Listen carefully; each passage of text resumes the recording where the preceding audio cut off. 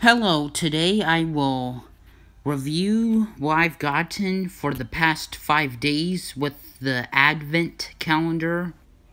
Overall, it's been quite an interesting Advent calendar, and I think my favorite one out of the five things I've gotten from the Advent calendar would be the grill because I just really like the detail and creativity of the grill. And it's really useful for the stop motions that I make for the background. I think between these minifigures, I think I like the Black Widow a little bit more. Um, I know that I have a Black Widow, but I just really like the arm printing on that one and the details on that one. I, I like the Iron Man too. Just my opinion.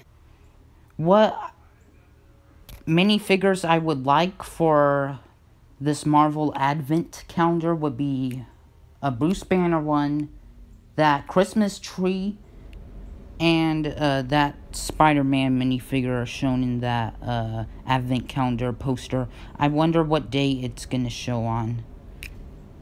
I also like the build, the mistletoe and the grill, and not those blasters, they're just accessories.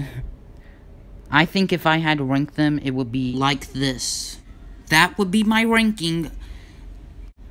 I'm really excited to see what is in store for this Advent calendar.